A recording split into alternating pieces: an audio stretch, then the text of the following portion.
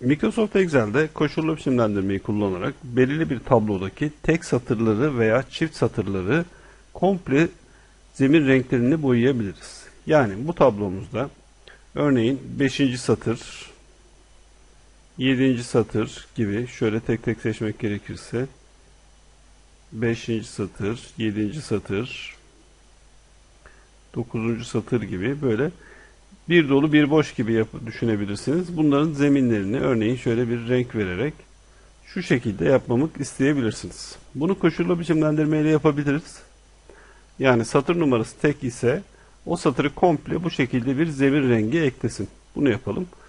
Bunları geri alalım öncelikle ve tablomu A4'ten itibaren aşağı doğru seçiyorum ve alta yeni veri girişi olacağını düşünerek 100. satıra kadar bunu komple seçiyorum.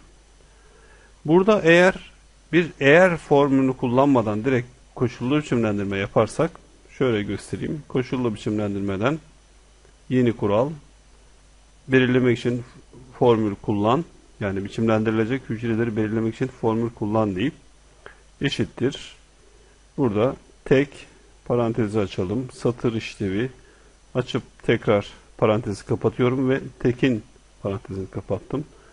Eşittir satır deyip tekrar parantez açıp kapatarak ve biçimlendir düğmesine gelip de dolgu renginden örneğin mavi seçip tamam dediğimde bakın tek satırlar olduğu gibi renklenir. İstediğimiz bu. Fakat burada şöyle bir sıkıntı var.